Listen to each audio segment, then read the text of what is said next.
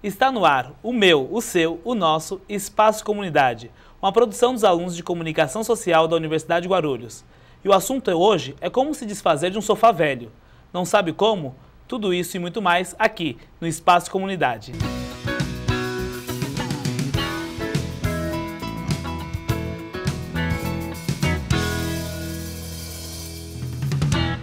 Recebemos no programa de hoje o gerente técnico da Secretaria de Serviços Públicos, Alexandre Lobo de Almeida, e vai explicar para a gente sobre a importância da coleta seletiva. Tudo bem, Alexandre? Tudo bom, Thiago. Alexandre, hoje então o papo vai ser sobre coleta, coleta seletiva. seletiva. Então, assim, uh, são vários microprojetos dentro de uma grande abrangência. Eu gostaria que você começasse falando para a gente qual a importância do sistema de coleta seletiva. Certo, Tiago. É, inicialmente eu gostaria de agradecer aqui o convite do programa à Secretaria de Serviços Públicos e o Departamento de Limpeza Urbana, no qual eu estou representando aqui hoje. Perfeito. E o programa, ele chama-se Coleta Seletiva Solidária, que é o que a Prefeitura faz gestão na coleta seletiva que é de sua responsabilidade, né? Sim. E dentre os componentes do programa, a gente pode citar aí o circuito porta a porta. Perfeito. Nós temos também os programas internos da prefeitura, que é a nossa escola recicla e a nossa certo. secretaria recicla, e os pontos de entregas voluntárias eh, localizados em alguns pontos da cidade. Perfeito. E assim, há quanto tempo que existe esse projeto? Esse projeto ele vem desde 2005, já Sim. implantado na cidade, mas a missão eh, específica com relação ao manejo dos resíduos sólidos, ela se deu em 2009, quando a Secretaria de Serviços Públicos teve essa missão de lidar com a gestão dos resíduos. Perfeito. E hoje a gente vive uma realidade de ter um plano diretor na cidade de resíduos sólidos. Isso é extremamente interessante, né? Importante Exato. também. De acordo com, com a política nacional, né? a política de resíduos sólidos é, no âmbito nacional, de acordo com a Lei 12.305. Sim. E assim, dentre essas mudanças que, é, que você citou para a gente desde 2009, vocês conseguem perceber uma melhoria quanto a isso na cidade? Tiago, a gente percebe que à medida que vai se propiciando a coleta seletiva, vai se havendo uma conscientização da população. Sim. Mas ainda é necessário que essa conscientização seja maior, cada vez maior, com relação à segregação dos resíduos e o encaminhamento, a destinação correta desses resíduos para que eles não, esses resíduos não parem em locais indevidos, como os rios, como praças, é, como ruas, Até na nossa calçadas. chamada mesmo, nós falamos né, sobre a ideia da, dos sofás. Ainda tem gente que joga sofá na rua? Ah, tem muito sofá. Não é somente também o sofá. Não, sim. Né? Nós temos outros resíduos aí que são jogados nas ruas, mas o sofá é um, é um problema, é um dos que precisam ser resolvidos é, ser destinados corretamente, ser levados a, a pontos de entrega voluntária. Sim. Né? E, e, diga uma coisa para a gente, ele, esse projeto, ele atende a todos os bairros? Não. Hoje, o, com relação ao circuito porta a porta, Sim. ele eh, só está em nove bairros da cidade, dentre os 47 bairros. Hum. E tem um horário específico para cada bairro, para que a coleta re eh, seja realizada e onde as pessoas separam os seus resíduos e deixam à disposição desta coleta. Sim. Isto quando a gente está falando de circuito porta a porta. Né? Já no ponto de entrega voluntária, as pessoas têm que levar os resíduos até o ponto de entrega. E existem outras iniciativas que a gente chama de local de entrega voluntária, que a gente chama de leves, que existem poucos pontos na cidade, mas também são destinados a receber os resíduos secos recicláveis. Perfeito. E assim, é, a gente está falando sobre, você diz assim, olha, o Porta a Portas atende nove bairros dos 47 de Guarulhos. Isso. Mas existem outros que é, fazem esse trabalho também, você estava comentando comigo, né? Então, é, existe dentro do programa o Nossa Escola Recicla, é, que é destinado à, à segregação das escolas. Né? Hoje são, são 116 escolas, ainda não está em toda a totalidade da, das escolas municipais, Sim. mas que propicia aos alunos eh, já terem essa conscientização eh, do que, que é necessário se separar, o que, que é um resíduo, o resíduo úmido, da separação do resíduo seco, começa a ter uma conscientização com relação da destinação correta dos Mas você resíduos falou assim das escolas, escolas municipais, né? escolas municipais. E nós temos também a- o, o programa eh, que é de gestão da própria secretar, da própria prefeitura, vamos dizer assim, que a gente chama de Nossa Secretaria Recicla. Eh, hoje a prefeitura tem cerca de 565 endereços, né, eh, contando com as escolas municipais, mas ah, se consegue fazer em 75 pontos das secretarias. Isso já é significativo para que os funcionários também se conscientizem eh, da necessidade de fazer a separação dos resíduos. Porque é extremamente importante isso. É, e olha, eu falo até por experiência própria. No começo é difícil você se acostumar, separar, mas depois que você acostuma com isso, você não consegue mais, você não consegue jogar um, um lixo seco, né, um- uma seletiva seca, num orgânico. É, o fomento aí da, da ideia é que realmente dos úmidos você separe os secos e outras que possam ser destinadas corretamente.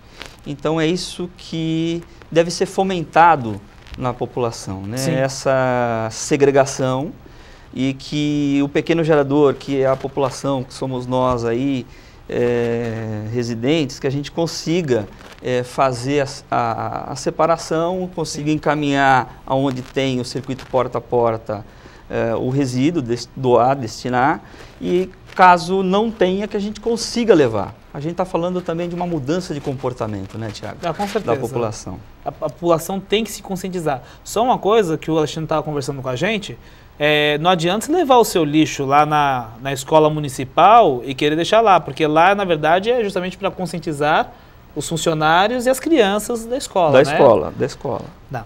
E assim, as pessoas participam bastante? É, te- assim, tem uma aceitação? Teve uma aceitação? A gente vem notando um crescente desde 2009 para cá e isso é bom. Só que o que é necessário fomentar é a hierarquização dos resíduos, né? Que a gente fomente a não geração, que a gente não consuma mais do que, do que se possa consumir. O excesso, né? o excesso, que a gente consiga reaproveitar, que a gente consiga reutilizar.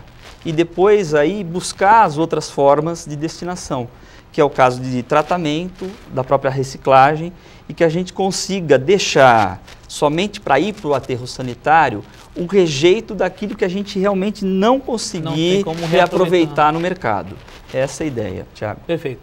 Olha, o papo hoje está muito consciente, viu, Alexandre? Muito obrigado. A gente só vai para um breve intervalo. Ok. Não saia daí, a gente volta já.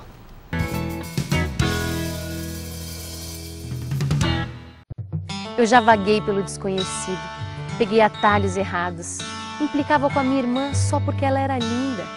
Sentei na última carteira para a professora me esquecer. Me encolhi feito caracol porque tinha espinhas na cara. Já chorei por nada e já ri por tudo.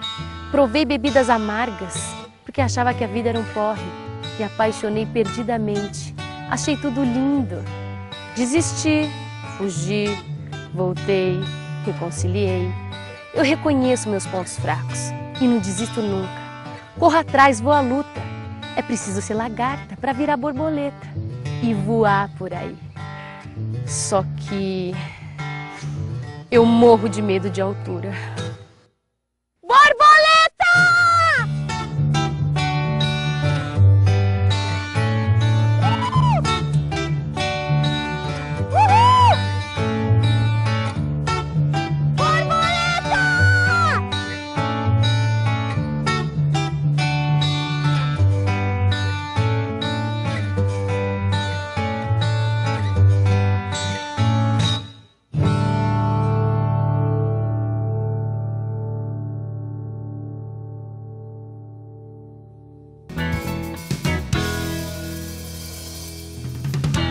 O programa Espaço e Comunidade está de volta. E hoje recebendo Alexandre Lobo falando sobre a conscientização e a coleta seletiva. Vamos lá, Alexandre, continuar Vamos com o nosso lá. papo. Alexandre, conta pra gente é, para onde que vai esse lixo reciclável? Porque a gente fala de reciclar tal, mas para onde que vai esse lixo? Hoje o resíduo reciclável está indo para uma cooperativa que é apoiada pela prefeitura. Sim. E é uma cooperativa formada de catadores de materiais recicláveis. Né? Então, que isso é o resíduo volta ao mercado produtivo e que gera renda a esses, a esses isso é cooperados. É extremamente importante. Né? Importantíssimo, né? porque a gente está fomentando aí, no caso, um também dos objetivos do programa, que é a inclusão social dos catadores Perfeito. de materiais recicláveis. Perfeito, porque assim, além da conscientização, além dessa geração de renda, faz bem para todo mundo. Para todo mundo. Ajuda todo mundo, né? É, mas onde estão esses pontos? Então, uh, hoje, com relação aos PEVs, ao resíduo da construção, são 16 pontos né, espalhados na cidade. E com relação à coleta seletiva de secos, a gente teria aí a questão do circuito porta a porta que a gente já citou, e os endereços a gente pode, é, a, a, população pode consultar o site da, da prefeitura Perfeito. e lá verificar os locais, os horários de funcionamento, para que ela possa Ótimo. ir diretamente num horário de funcionamento. Legal. Alexandre, nós vamos assistir agora um VT que a nossa equipe certo. fez sobre os PEVs e sobre o galpão. Ok. Roda VT. A coleta seletiva solidária atinge atualmente nove bairros. E todo esse lixo seco que separamos toda semana e entregamos ao caminhão de coleta seletiva vai parar no único galpão da cidade. Lá, o lixo é separado e tem destino certo a ser reutilizado.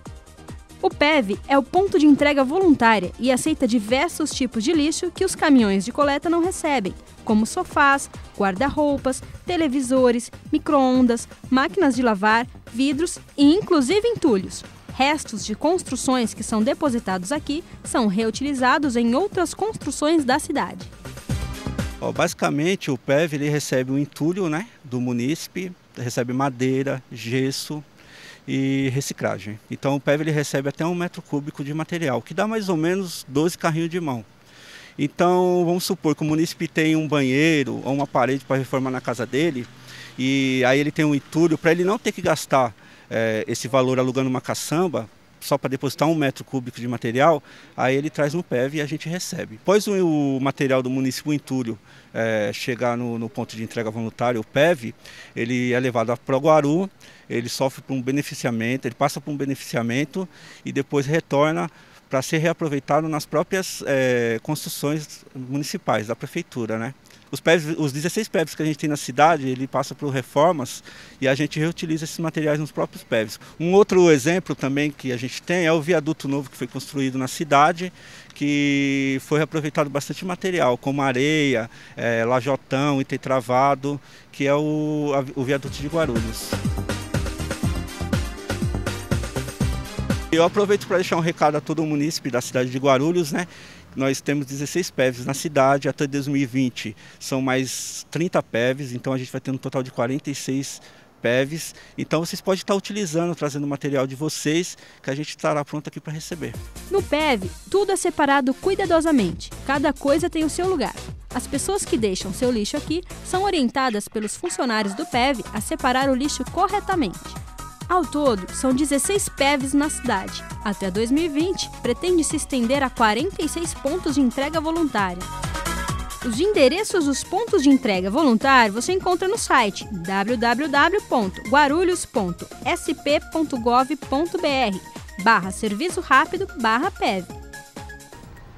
Bom, pelo que vimos no VTAI, Alexandre, os PEVs aceitam quase tudo, né? Exato. Bastante coisa. O que, que eles aceitam?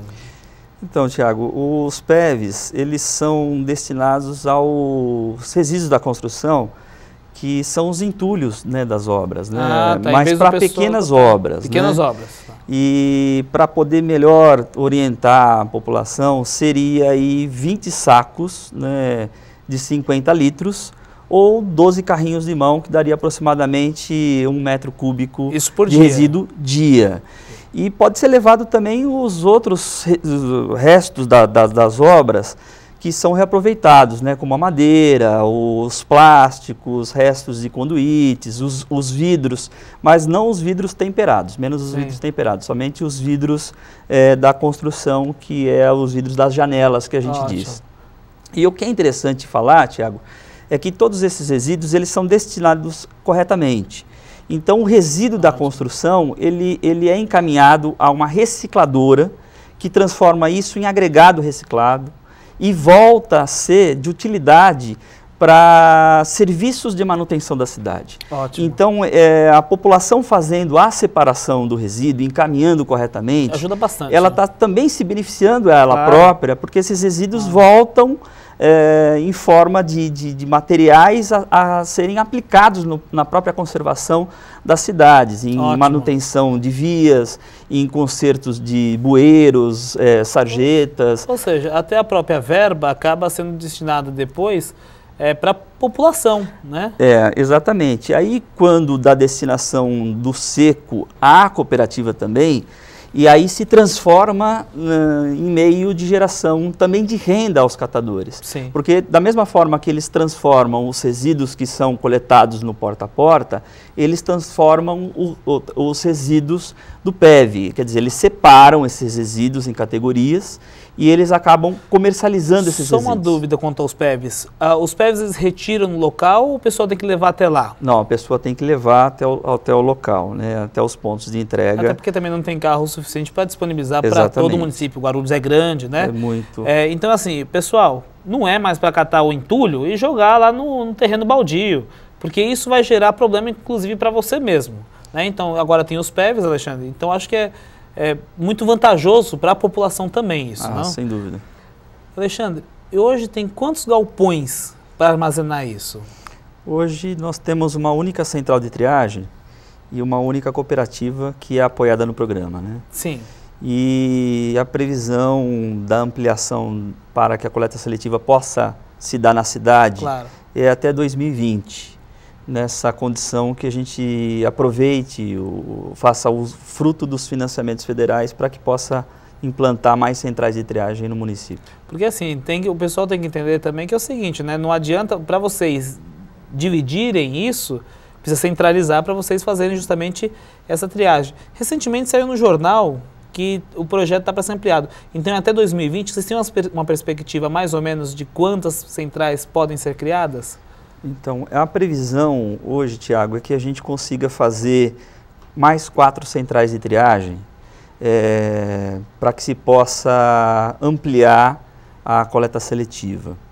Mas, eh, por mais que a gente consiga destinar todo o resíduo, é fundamental que a população se conscientize da, dos, dos, dos, da não geração, da redução e da reutilização, né?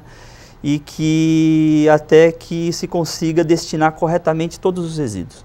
A meta é que em 2020 a, gente, a prefeitura consiga eh, colocar a coleta seletiva em toda a cidade. Você estava falando assim, que uma coisa que é muito interessante, o pessoal se desloca hoje em dia das suas casas para comprar as coisas.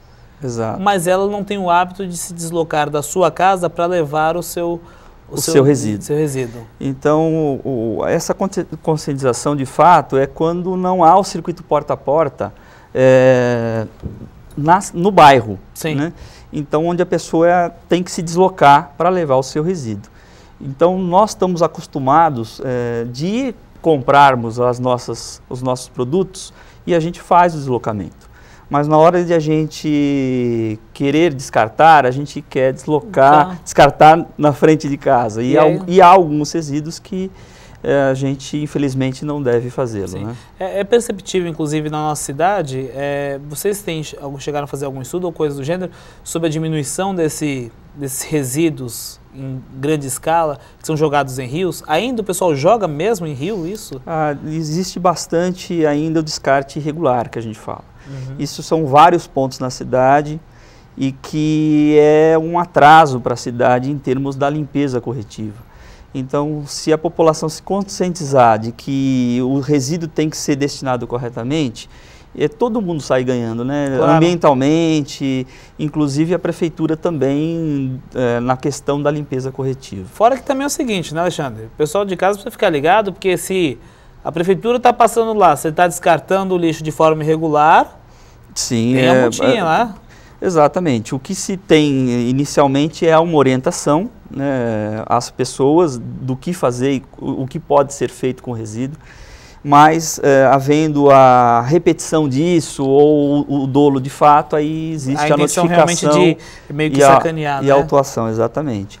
E o que é também de se falar, Tiago, é que a questão também da política nacional, ela trouxe a logística reversa com relação a alguns resíduos, né, que a, os próprios geradores é, têm que elaborar a, uma condição do, do, descarte de alguns resíduos à própria, ao, ao próprio fornecedor ou ao próprio fabricante. Fazer isso é extremamente importante que isso aconteça na cidade também.